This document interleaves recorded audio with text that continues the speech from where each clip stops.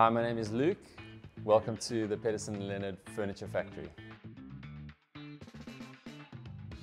It's a totally chaotic and crazy thing that we're doing here. We really, we, we push ourselves very hard to make something of exceptional quality and the details are, are really important to us. How we treat people, how we treat the environment, how we treat our staff um, and our customers.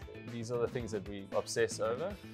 And the rest of it is kind of curiosity, creativity in real, in real time. Um, we kind of just look at spaces and opportunities and say, well, has this been designed? Could we do something here that's unique?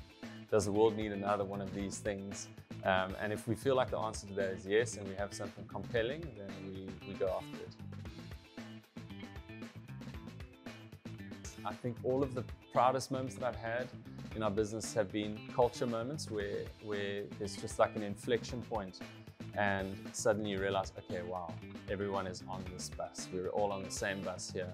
We have an amazing team. I'm absolutely blown away by this team. Um, we, we just do things here at such a high level and, um, and that's because people are just doing their best and they're really bringing um, passion to it and exceeding like way beyond um, what any one of us could do on our own.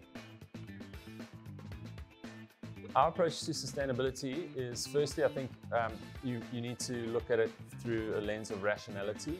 what is rational for us to do? Our long-term goal is to try and close the loop completely on our production and have no waste that leaves the factory.